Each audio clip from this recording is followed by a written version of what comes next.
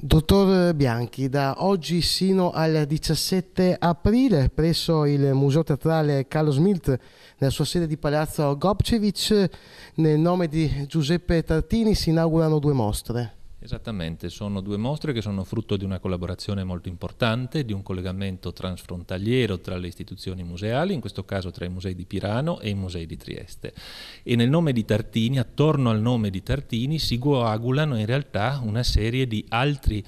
eh, istituti, enti e soggetti, perché eh, nel, per l'intera durata del, di apertura della mostra sono previste una serie di iniziative che vedono coinvolto il Conservatorio Tartini di Trieste, che peraltro è presente anche con una sezione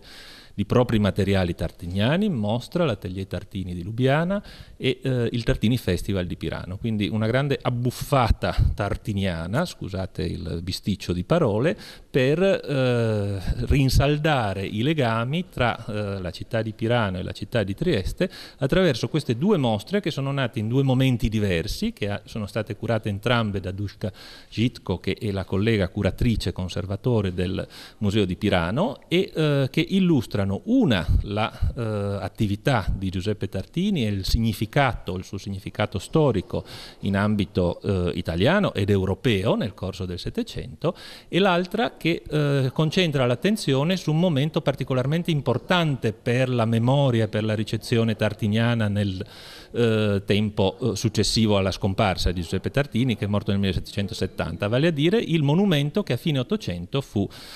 commissionato allo scultore veneziano del Zotto che fu inaugurato in piazza Tartini a Pirano nel 1986.